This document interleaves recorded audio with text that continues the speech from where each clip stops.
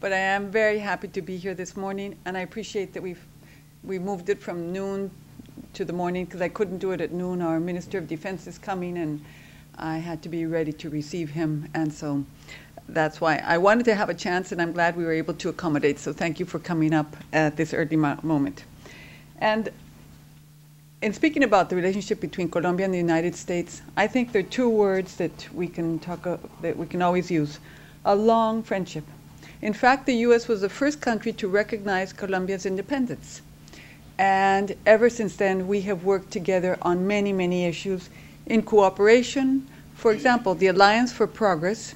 We had a very distinguished and far-seeing president at that moment called Alberto Lleras Camargo, who was very active in the Pan American Union and also in the United Nations. And he saw the importance of the Alliance for Progress. So the first group of Peace Corps of 40 that left the U.S. went to Colombia. And I think all of these kind of uh, situations show how Colombia and the United States have worked together for many years. And it's not a matter of our governments. It's a matter, it goes beyond this. It's our states, it's our countries, it's our peoples, it's our values. And I think that's at the base, and that's what we have to remember as we look at the way that we've been working ahead. And just most recently, as Nelson has said, you've been helping us in a very significant way with Plan Colombia. And I would say that the presentation we're going to see today shows how this is a very successful example of the U.S. helping a country to move ahead. In the year 2002, and for me it's painful to say it, but if I'm going to be intellectually honest, a lot of people were saying this is a country that is becoming a failed state. It's a country that's not able to control some of its areas. It's a country where the violence is taking over. It's a country where its economy, which has always been strong because we've been a very conservative uh, uh, country has, who's never defaulted. We've always paid back. We haven't. We've never had hyperinflation. It was collapsing. 98. We had a recession, the first recession after the depression. So it was a country that was facing extreme problems. And you will see today that we're a country full of optimism and we're making a change. And that has to do with strong leadership in Colombia, but it has to do with the support that we've been receiving from the U.S. through Plan Colombia. It's a support that started with President Clinton, that's gone through Congress through all these years, and you will see that it's made a difference. And I would say that's what's behind that wonderful, wonderful rescue that I think we all still light up when we think about it, to have been able to get out. Yeah, I, but this is to, this is to all of us because we were able to get out the three Americans. That was very important. Ingrid Betancourt, but also the 11 soldiers who had been there for 10 years. And they all came out, and their messages were fantastic. There was no anger, there was no bitterness. There's, let's think about the others, let's move ahead. Thank you to the Army, thank you to the President, thank you to the United States, thank you to the media. It was very, very moving, and I think there's a lesson there. And one of the of the soldiers said, let's get out on the 20th of July, which is Independence Day, and let's send a strong message. And that's what you saw on Sunday. I hope you saw the Washington Post yesterday. Those kind of manifestations went, of marches took place all over the country and in all the major cities in the world where there were Colombians. The message was one of free them now, immediately, and it, it, was very, very moving. We had a meeting here at Lafayette Square. It was done also with songs. Our artists all uh, gave their free time, and Jorge Celedon was here to celebrate with us. He plays vallenatos. He's very popular among the Colombians, so we were very grateful that he took the time. So these, what's been happening right now, shows what wonderful cooperation between two countries that are working towards similar uh, values have been able to achieve. So I am. Um, with that introduction, I'd like to move ahead, and I thought today then I would just show you what's happened in these last six years. Why are we feeling that this is a new Colombia and that we've gone into a virtuous circle after having been in a vicious circle? The vicious circle before was drugs fueled illegal groups, fueled violence, led to a decrease in our economy, and led to an increase in our poverty. This is a vicious circle. We've now been able to turn it around to Greater security is giving us new investment uh, security, new confidence. The Colombians and foreigners are investing, and we have a program in uh, place that is giving us the social programs we need. So you'll see that poverty is decreasing, and so we're now into a virtuous circle after having been in a vicious circle. Let's look at the uh, security issues, and there we see how we have been able with Plan Colombia, and the, the issue there, which uh, sometimes is, is difficult to understand, when people talk about Plan Colombia, they talk hard side, soft side. Hard side being helicopters, winged, uh, what they're called, uh, helicopters, the wings that are fixed and wings that are rotaries. And, and it has to do with the gasoline, it has to do with maintenance, it has to do with the pilots, all this. This costs a lot of money. And that's been called the hard. And the soft, which is very necessary, has been in, increasing our justice, putting in programs of alternative development so that people who are involved in drugs will have other alternatives. But in fact, it's one and the same because only with these airplanes have we been able to reach out in a country that's very rugged. Because when the Andes come into Colombia, it divides up in three. So we have mountains that go up and down in one third of our country, which we say sort of like the equivalent of California. And the other part of Colombia, which would be the equivalent of Texas, half of it is jungle and half of it are savannas where there are very few people, and that's why the guerrillas have been there. So this is a country that has always favored uh, planes because we don't have the adequate roads, where it's not a good country for trains, and in fact, that's why Colombia had the first commercial airline after the United States in Latin America. It was called SCADTA because planes are a good way to move in Colombia. So I would invite everybody to see the hard and the soft as being absolutely complementary, and we need both to be able to take the services and to make sure that we get the kind of services we need. What are we finding now? That we have the lowest homicide rate in 20 years, lowest kidnapping rates in 20 years. We're talking about 20 years. The lowest number of terrorist attacks in 18 years, and the lowest carjacking rates. Here, these uh, graphs show us the numbers. Uh, you will see in the shaded part is the, what was happening before President Uribe, and then what has happened since 2002 when he came in. So there we see how homicides have gone down from 28,000 to 17,000. 17,000 still is a considerable number, but it is an incredible 40% decrease. Kidnappings have went down from 2,400 to 226. So there we have a 90% decrease. We need to get to zero, and this is a message we are sending on Sunday and we need to send. Homicide rates by cities have decreased because what you find is that when you look at the general homicide, it's concentrated much more on the outskirts where there are the problems, not in the major cities. So you find that cities such as Medellin, Cartagena, Bogota are safer than many Latin American cities and even some American cities, so that we've definitely made progress. We've made progress in fighting drugs. We have to remember that fighting drugs has to do with fi the financing that our illegal groups were going. So violence and drugs and corruption go all together. So in fighting drugs, one, we're addressing issues of health, of consumption, which are fundamental, but we're also addressing issues of democracy, of uh, maintaining institutions, of strengthening institutions.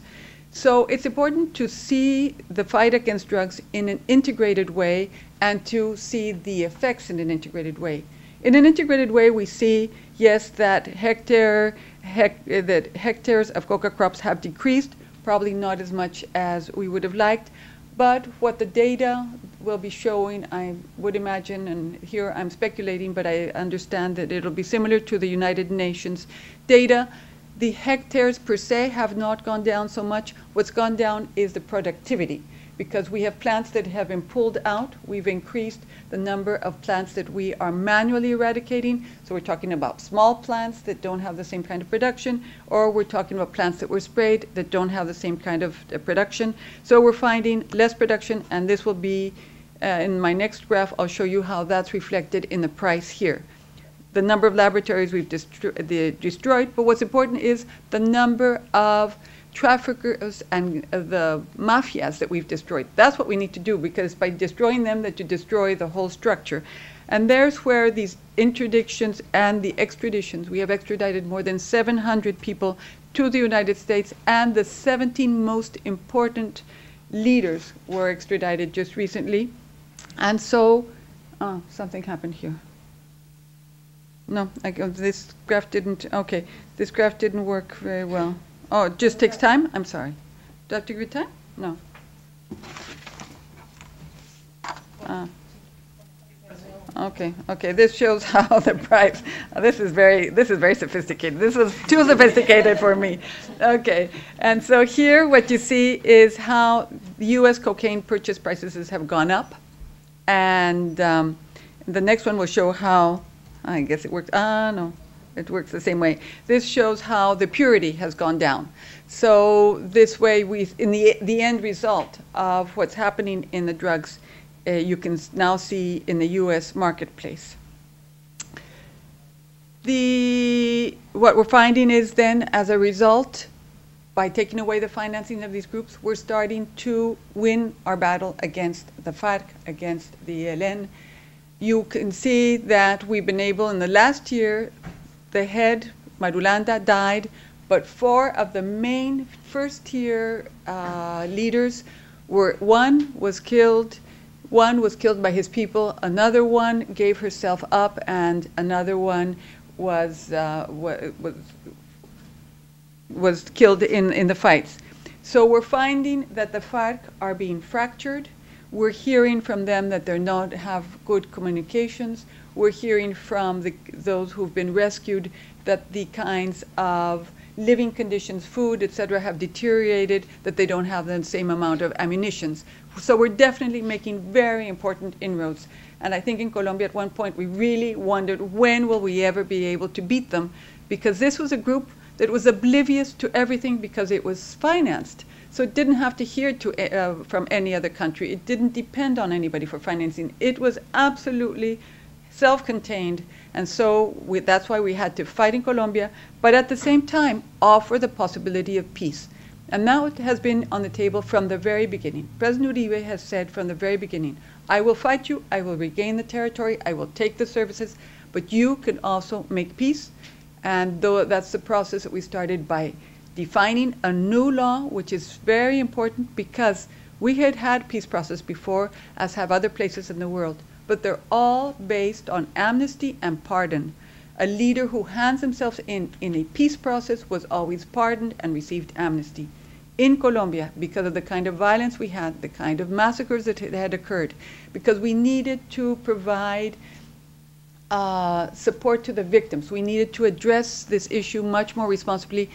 The leaders accepted that even if they gave themselves in, which is what they all did, they would have to be tried. They're being tried. They will receive lower sentences if they comply with four different conditions. One, hand over all their structure, all their men, come in with all their men, and that's why we find that among the paramilitaries, they came in with 40,000 men if they stop the drug trafficking, if we find that they're drug trafficking again, they lose any of the advantages of the peace and law. They need to hand over those lands and those things, the, whatever they got through force. And they also have to, so uh, the kidnappees, the, the drugs, their people, and the, and the illegally begotten uh, goods that they have. If any of these they, we find that they're not fulfilling, they lose all of their of, of the possibilities of acceding to the peace and, and, and justice law. But we've also sent out this message for individual cases. And the demobilized individuals here, you see, these are guerrillas who have demobilized individually. One could also call it they've deserted the FARC, but they've deserted to a legal structure, to a country which is saying, if you desert, we will receive you. We will give you, as we are giving all the other 30,000, a subsidy so that you can go back to school, be it to get your high school or to get technical training, to get an education, and you will have psychological support. The problem with any peace process where you've had people out in arms is the recidivism. People know how to earn their life and how to make their statement with their arms. We need them to learn how to come back to uh, the democracy and how to earn an honest living. And this is a big challenge. We're working on it. We still have problems. There is recidivism. We hope that it's half of what it's been in other places. We're told that in El Salvador and some of the Central American countries, 20% was the recidivism there was. We're finding about an 8 to 10%, but over 40,000 40, people, well, 8 to 10% is 4,000 people, and that's what you hear about these Águilas Negras, which are groups that are going back to drug trafficking because you have to remember that even as we are moving ahead, we still have that incredible challenge, which is to continue to fight the drugs. So we're making peace in an environment which can be tempting for somebody to go back to the drug trafficking. So that makes it challenging, but we're aware of it and we're trying to work very strong on that. As a result of having greater security, we're finding in an economics that we have the highest flows of foreign direct investment to date Exports have increased by 2.5 times. Inflation rate is one of the lowest in 42 years. Interest rates have remained low and stable. And we have massive entrance. We would like to have a massive entrance. We now have more than 1 million people coming into Colombia. And we were told that Disney World is going to have their cruise go. So Mickey Mouse is going to go to Colombia this year with Donald Duck and Goofy. So uh, we invite you to come uh, and see us in Colombia with them. These are the specific data, and here you can see if you look at the GDP or you look at the exports or you look at the imports, between 1999 and 2007, there's an increase, or either it's been doubled or tripled. And these are the specific uh, data that this uh, presentation will be on our webpage, and it's available to any of you if you, if you want to see it. Here, I think this is a very interesting uh, graph to, which shows that as violence as decreases, the economy goes uh, increases. So you have a totally inverse relationship. As we had very high violence, our economy went into that recession. Once we've addressed the issue of violence, our economy is taking off. And that leads also to investor confidence. The growing economy is confidence of Colombians, but it's also a confidence of foreign direct investment. And in the last three years, you will see we've had more than six million, six billion dollars eh, in 205. A SABMiller investment of 4.7 made it very, very high. But last year we almost reached the same level with more diverse investments. Exports have been increasing, and you can see that both traditional and non-traditional has been increasing. The inflation rate has gone down from 17 to 5.6. We hope to stay there. And interest rates have also remained low and stable.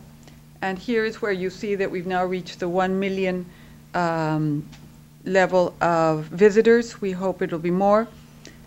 Colombia lost 20 years. This was the level we had in the 80s, before the drugs and before that violence. Drugs have hurt Colombia very, very much. It's pushed us back in many ways. And this is one, as there's greater stability, and we have this now uh, peaceful areas, you now see that Colombia becomes very attractive for ecotourism. It's a country that has the greatest biodiversity, and I think it, is, becomes very, very interesting and attractive.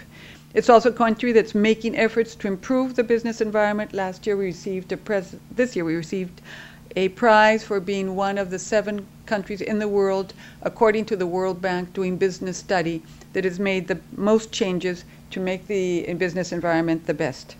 And what does this mean? This means that our social indicators have also improved.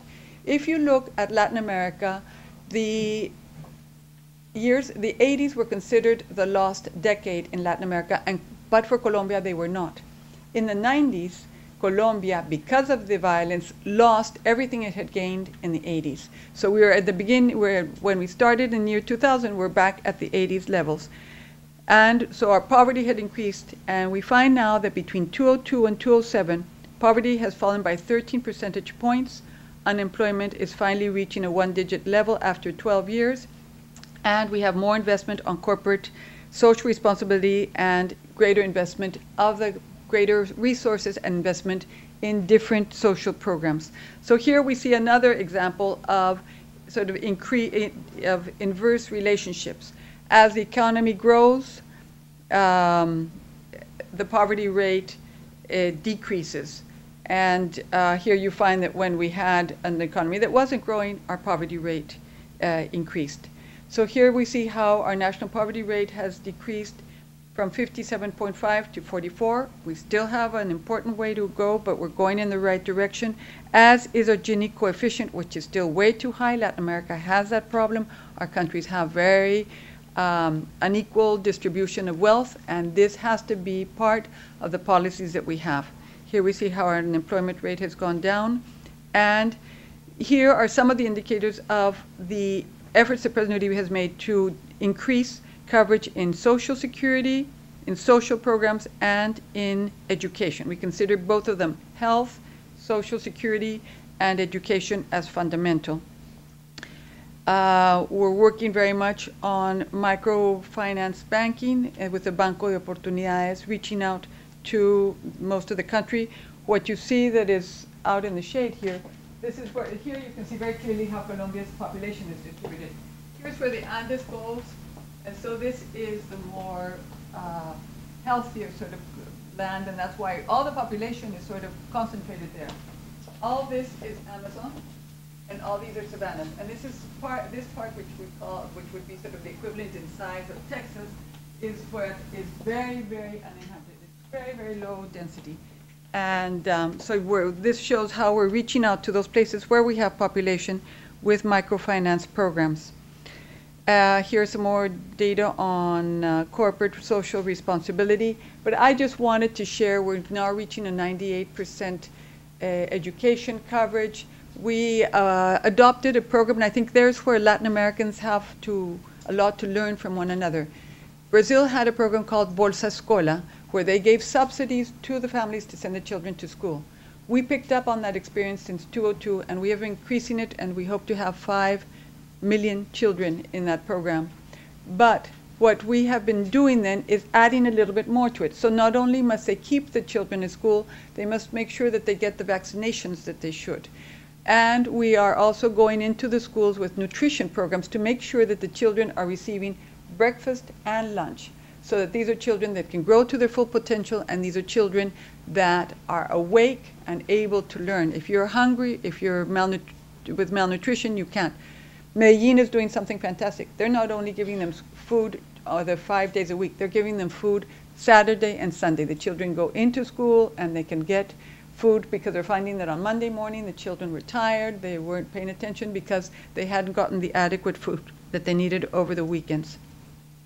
So what do we find that um, we have also been doing in the area of labor? There's been, there is concern about what has been happening with our labor and I wanted to share with you some of the major changes that we have made to address the issue of labor. We have increased our resources of government uh, to, to provide protection for union members, which whose situation has improved, fortunately, as the situation for all of the calamities have improved, but we'll see the data later on. And so we will find that the homicide rates of union members has gone down by 87% as compared to the 40% for the population in general. In all these cases, we need to improve. This is not a justification at all, and please never understand it as that. What we're trying, though, to see are the trends, and I think that's what is important at this moment.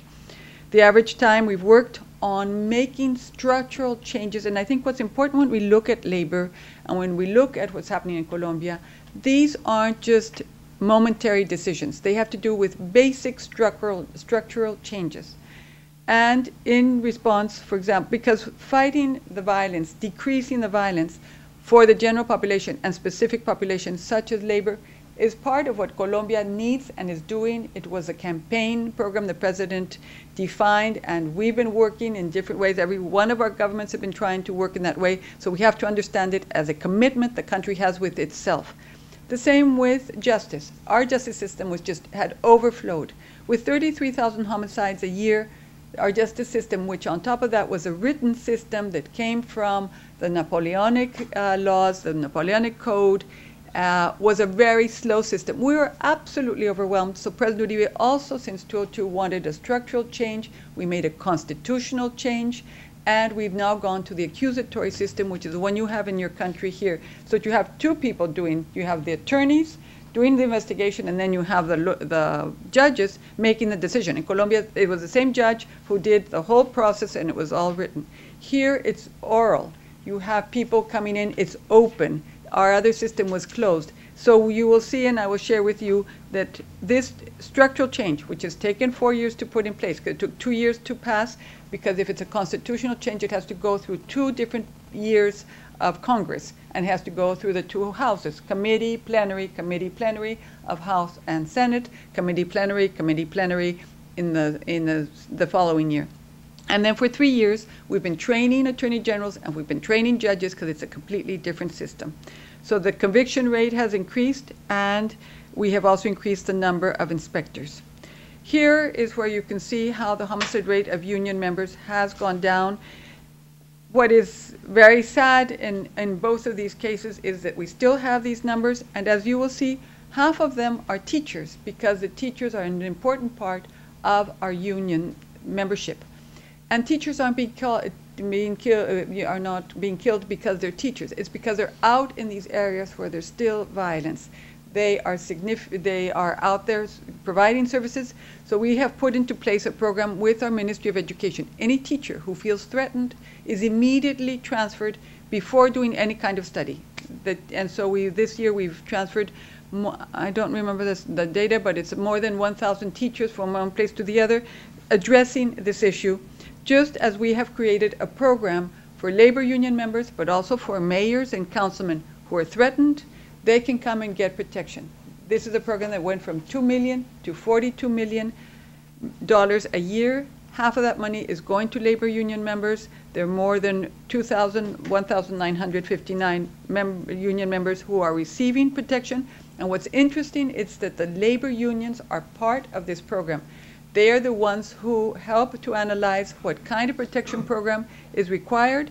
And so we hope to receive, in, in that way, to achieve two effects. One, that the labor unions will let their members know that this is an option that's out there. And secondly, that they will be there to allow us to make the best decision as to the kind of protection that the labor union members require. Here we start seeing what we made in, as a constitutional reform, working on the judicial and so between, between 202 and 204, constitutional reform. 205, then what we started doing was preparing our judges and our attorney generals by different parts of the country. So we started first Bogotá, Manizales, Pereira, Armenia, that's our coffee region.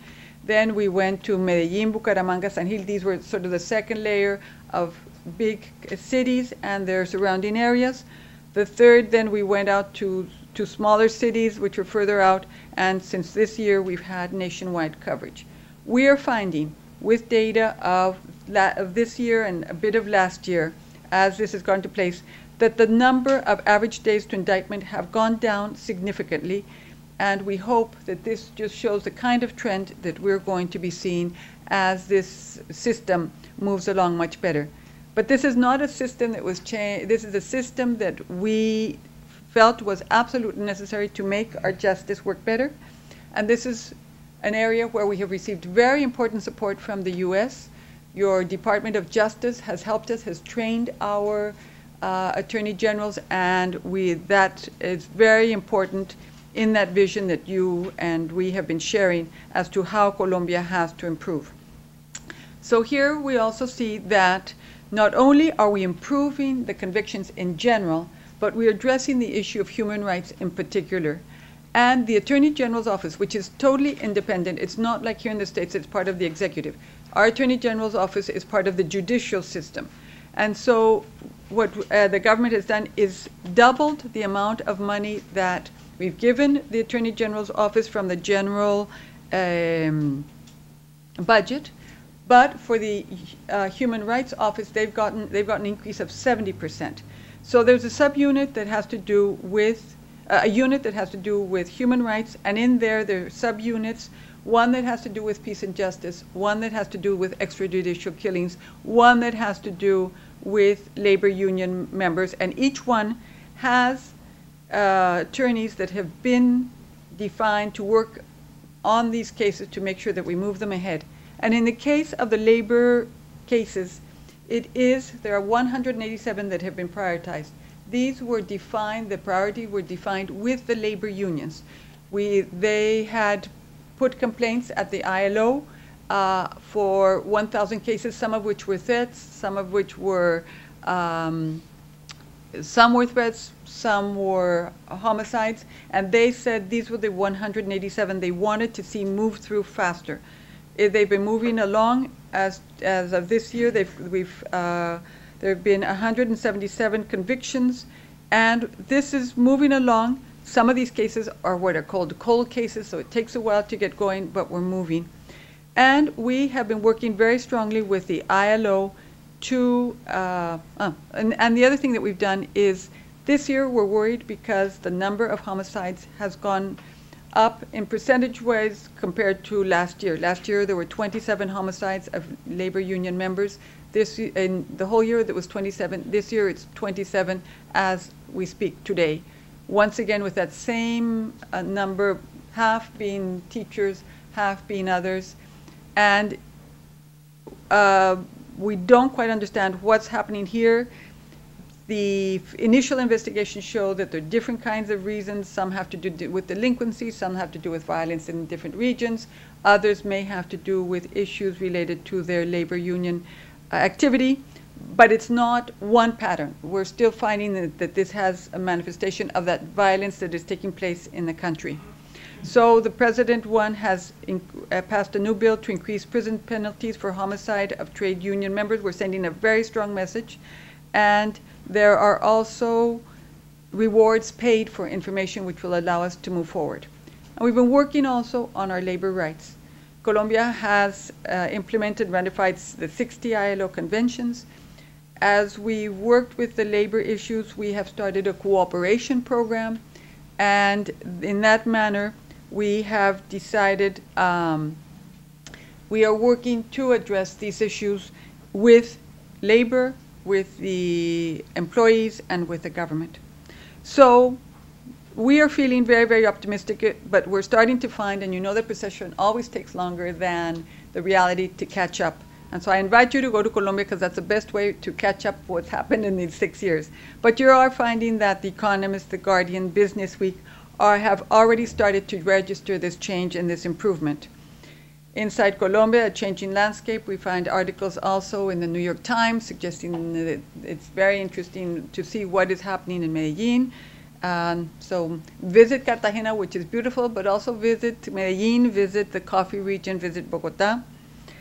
Uh, this was a study done by the CSIS where it said back from the brink, and it shows the progress in Colombia. Business Week has identified us as one of the emerging markets. And I think what's also interested is interesting is that we find that other um, leaders are also seeing Colombia's improvement, and they feel that it's important that we continue to work together as a region. And so the leaders of the region, starting with President Bachelet and President Alan Garcia of Peru, and President Torrijos, uh, most of the Central Americans, President Calderon, Prime Minister Harper, have all come out and written to Speaker Pelosi saying, let's complete this vision we have of the region. These are all countries that have trade ag- agreements with the U.S., and they see the trade agreements as a way of creating a greater integration in the region and making sure that we are working in a more solid way towards the same kind of, um, of values.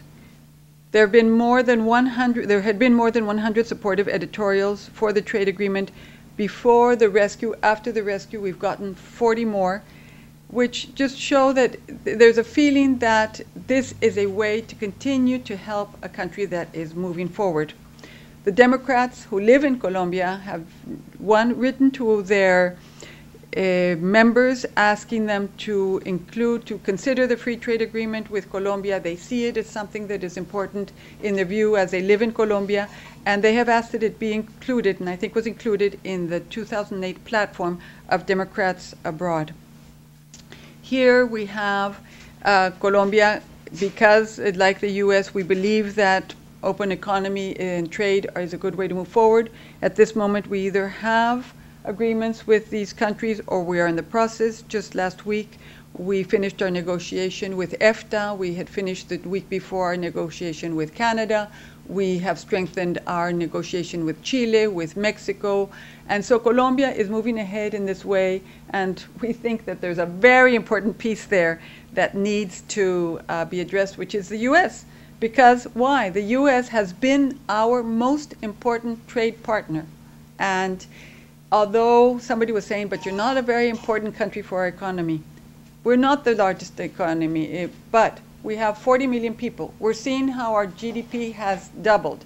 We're seeing how the, you'll see, the agriculture is very complementary. So what we want to start is by leveling, leveling the playing field. You have given us preferences for 15 years. So if we're worried about the economy, whatever disruption there might have been, and I think it was minimum, that has been worked out through the system. And what we've done now is create jobs in Colombia and the, in the U.S. We've created more than 600,000 jobs in Colombia. We have probably created a similar number here because, for example, with flowers, for every flower grower that we have there, of the person who's cutting flowers, you create one and a half jobs here because it has to be sold and distributed. And we find with the mills in North Carolina, you're selling us the, the cotton we need for the apparel. So we've gotten this going. Let's let, allow your products to come in and let's have this have this uh, these preferences which are always temporary and the, that part that it's temporary means we don't have the level of investment we want to have uh, we need to move Make it cheaper and more competitive. Ours is a tropical economy. Yours is temperate. We buy wheat, we buy soy, we buy corn from the U.S. We are the largest uh, buyer of agricultural goods because our economies are, are um, complementary, the, the largest buyer in Latin America. U, U.S. exporters have an edge over competition because we have had this alliance, we have worked together, we know each other, and we all know that trust is good for building. Um, and we want to keep a beneficial relationship growing. Trade has to do about trade, but it also has to do about other kinds of ties, other kinds of relationships. It has to do with trust. It has to do with stability. It has to do with making our countries and our relationships stronger. And so this is why I would invite you to continue to, uh, that we continue working together. We're finding that the free trade agreement, these are studies that we're doing, show that it would mean growth in Colombia. The IIE did studies here that shows it would mean growth for the U.S., but above all, we have been friends, and friends are here to help friends, and I think it's good for the U.S., it's good for Colombia, and I appreciate the time that you've given me this morning to listen to the Colombian story, which I hope you will have a chance to go down with Mickey Mouse and see for yourself that it's not a Mickey Mouse story. It's a real good story that has a lot of substance to it, and thank you very, very much.